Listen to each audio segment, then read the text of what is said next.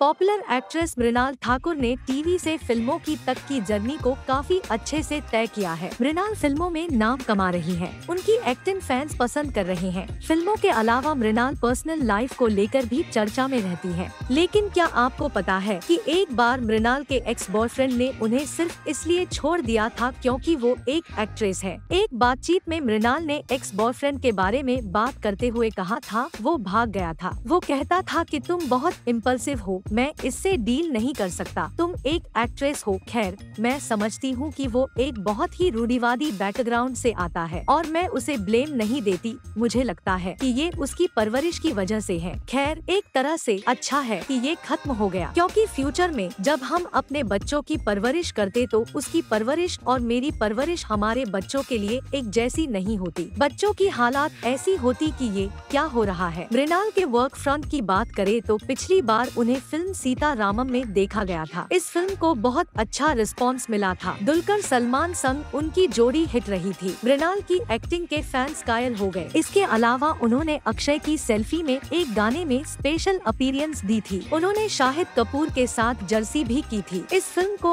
अच्छा रिस्पॉन्स मिला था लेकिन फिल्म बॉक्स ऑफिस आरोप कमाल नहीं दिखा पाई थी दोस्तों अगर आपको हमारा वीडियो अच्छा लगे तो उसे लाइक करे शेयर करे और ऐसी ही दिलचस्प जानकारी पाने के लिए लिए हमारा चैनल फॉलो करें